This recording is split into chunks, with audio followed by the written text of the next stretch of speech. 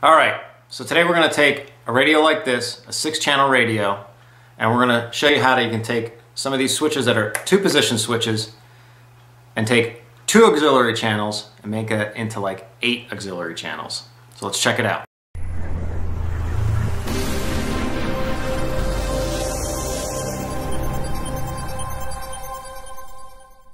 What I want to show is how you can, again, with two channels, do all kinds of stuff and I'm going to show you specifically the mixes in a DX6i or other Spektrum radios and how you can get that set up.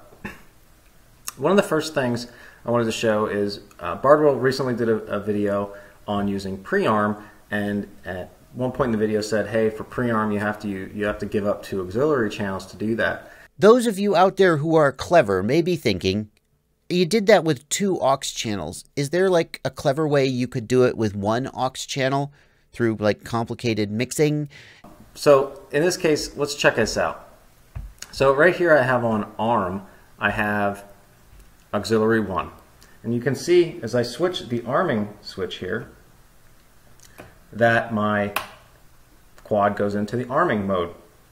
But it's not actually going to arm because it has to be also in the pre-arm position. So when I just hit the arming switch, you can see it skips over the pre-arm position, so it will not arm. Now I have my aileron dual rate set up in mixing, which I'll show here in a second, that once I hit the aileron dual rate and then I go to arm, well then it's in pre-arm and also within the arming flag. And that will arm the quad. Now when you're flying, you can turn off the dual rate and it will take it out of, um, you don't need pre-arming at that point, but it's still armed. You'd have to make sure your arming is, is far enough apart here. So this is a trick I use for uh, this Revolt OSD where you only have a little amount of flash space. So I initially arm it, get up you know, in the air, get acclimated a little bit, and then I'll switch the pre-arm switch up and that's will restart doing the black box uh, recording and logging. If I want to turn black box recording and logging off, I just turn that down. If I go back up again, then I record. And then obviously to disarm with this down or up, I would just disarm it. So that's that. To set that up, so let's look here at the mix design for that. So I will go into my settings.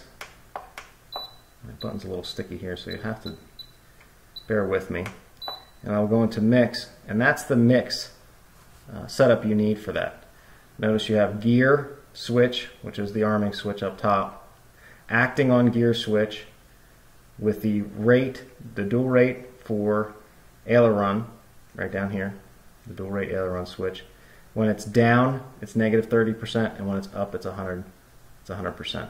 And it's not acting on any trim. Now, we can do the same thing with flaps. So the flap switch is auxiliary 2, and when I flip that, you can see that it goes into, you know, from one position to the next. I don't necessarily have this set up for anything specific on this, but you have basically a two-position switch. But you can turn that into a three-position switch by, again, setting up a mix with your dual rate on elevator. And now you have two different positions there. And you can see whether one's this is down, then your flaps, and you can make that uh, farther variability if, if you want. We'll show that here in a second. Or with this up, now you get full range. Now in Betaflight, which is great, is you can add multiple ranges here as much as you want. So you can have a, you know, a range over here and a range over here so that whenever this tick is in any of those spots, it will activate, for example, here angle mode. And the reason I have that turned on is so that when I go into failsafe, it automatically pushes auxiliary 2 to set point of 1500. It will hold that for three seconds and uh, with a reduced throttle percentage and then it will drop. So it kind of levels off, holds for three seconds, and then it will drop. So going back to here, you can see just here's another part of the auxiliary 1. You know, when I'm disarmed, going back to auxiliary 1, when I'm disarmed, and if I have th flip this down, you Now it's disarmed. My beeper will activate. And it's up, beeper will not activate. So I can't activate the beeper while I'm armed. But I, when do I, I'd never want to activate the beeper when I'm armed. So I think that's, that works for me. It's only when I'm disarmed, crashed on the ground, or, or something, and then I want to try to find it, I can use this switch. So, you know, I'm getting a bunch of functions. I'm getting a, a pre-arm out of that, I'm getting a black box trigger out of this, and I'm getting a beeper function just out of one auxiliary, and then just using dual rates in a mix. So let's show on the flap switch the mix for that. So it's flaps acting on flaps. When it's down for the elevator dual rate, it's at negative, um, 75% and 100% when it's up. So I don't have this set right now on this transmitter, but you can use this same thing to set your, so you can do in-flight PID tuning. So for example here, I can bring this up